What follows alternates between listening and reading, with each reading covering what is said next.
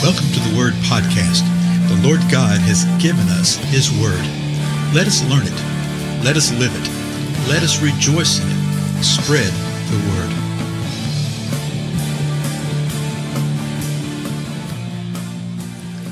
Blessings, everybody. This is Dale. Thank you so much for joining with me. Uh, sort of sequestered away today because of some bad weather, so as often is the case, audio may sound a little different than it normally does. But it's good that we're still able to get together. and it's been sort of a, a cold, chilly time of late where we live.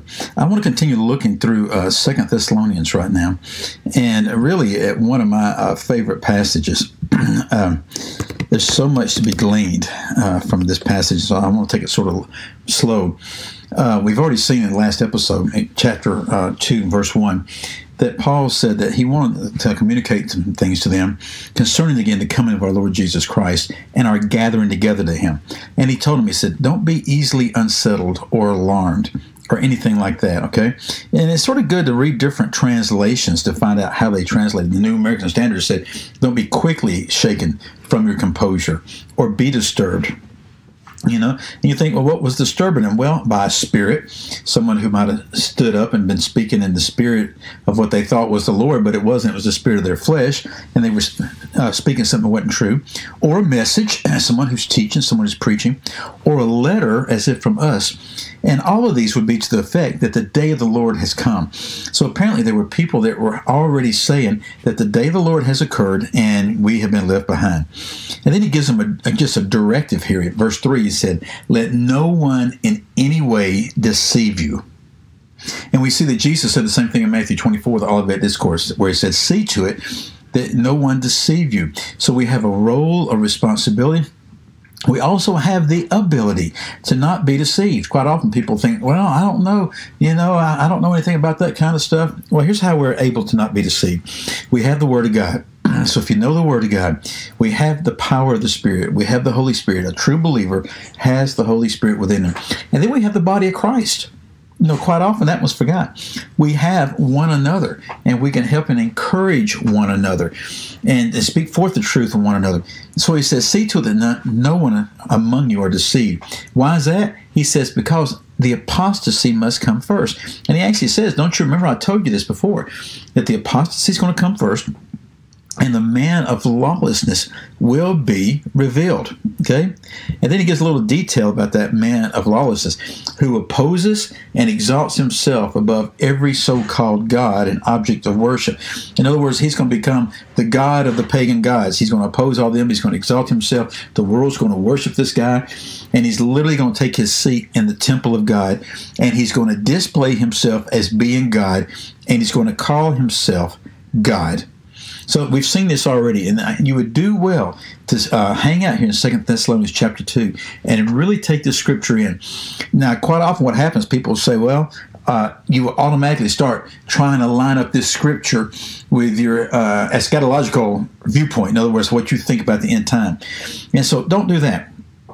Just look to see what it says if it reveals something you've never seen before that draws into question what you thought you knew, well, hallelujah. you know, change your thinking, line it up with the scripture. Boy, I go through that all the time, right? So he tells them, Don't you remember that I was with you while I was with you? I was telling you these things. Now listen to verse 6. Verse 5, let me read it again. Do you not remember that while I was still with you, I was telling you these things? So he's saying this to them. He's saying, Come on, guys, remember. Remember what I said? Now, verse 7 and you know, I mean, verse 6, you know what restrains him now, so that in his time he will be revealed. That right there is a profound verse because the body of Christ in Thessalonica knew what it was that was restraining this man of lawlessness. And notice the word now. You know what restrains him now, so that in his time he will be revealed. Well, in the balance of the letter, Paul writes, and he doesn't really tell us what it is that restrains. Which he told us, right? Though through the balance of the scripture, I think we can find out and that it's readily clear what it is. But there's a couple other things. There's something that is restraining him. You know what restrains him Now, and the context is he's talking about the man of lawlessness. So does this mean that the man of lawlessness, the son of destruction, that he was alive then, it is going to be alive later? In other words, who is the him? And then it said this, so that in his time he will be revealed. So let me tell you what I think this is. I think it's a picture. Uh, when you read John, read First John, it talks about the Antichrist, and it says, "Yeah, the Antichrist is to come, but the the spirit of the Antichrist is now." So even in the first century, the spirit of the Antichrist was there, and that which would come against Christ is there already. The man of lawlessness, okay, the Antichrist, will be empowered by Satan himself. He will be a human Okay? And he will be a human. And at some point in time, Satan will enter into him, much like what happened uh, with Judas. Remember that? Judas had decided to uh, uh, turn against Jesus, had already cut the deal for the 30 pieces of silver. And then when they're having the meal together and the Lord gives him the morsel, it said that Satan entered into him. And I believe the same thing is going to happen to this man. So this man's going to be going along. Now he's going to make all the deals. He's going to do all the chicanery and everything, and he's an active part of this. But at some point in time, which I think we do know, we'll get into that later. At some point in time, Satan will enter into him. But in the meantime, something is hindering Satan. Something is restraining Satan. Okay, something is holding him back.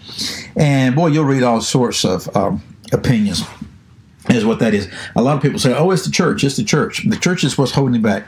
Uh, no, you don't see that anywhere in Scripture. Other people say it was the Holy Spirit. The Holy Spirit is what's holding back. No, you really don't see that anywhere in Scripture either. And I think it goes back to what we uh, saw earlier in the writings uh, uh the Thessalonians. Um, let's go back to Daniel chapter 12. Let me read you this passage right here because this is really, really useful. Uh, Daniel chapter 12 is the last chapter of Daniel. And it begins like this in verse 1. It says, Now, at that time, and you have to say, Well, what time? Well, you have to go back and read the end of chapter 9, 10, 11, then up to 12 to sort of get the context of it. Now, at that time, Michael, the great prince who guards over the sons of your people, will arise. And there will be a time of distress such as never occurred since there was a nation until that time. And at that time, your people, everyone who's found written in the book, will be rescued. And so I think what we see right here, and when you read the next three or four verses, you'll see more insight into it. We'll run out of time here. What you see is that Michael is the archangel who stands guard over the Jewish people, stands guard over the people. But there's going to be a time when Michael arises. And a lot of times people think that this arising is him arising up to do battle for his people, to protect his people. No, no, no, no. He stands guard for his people right now.